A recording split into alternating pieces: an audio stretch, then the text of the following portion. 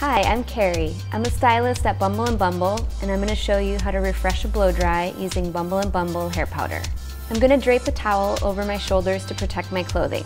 I have dark blonde hair, so I'm going to be using a bit blondish hair powder. I'm applying in light, even strokes.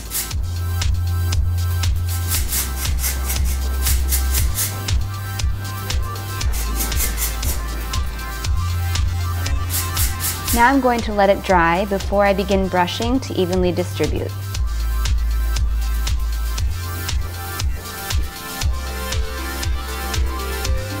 Now I'm using my hands to move my hair around and find a part I like.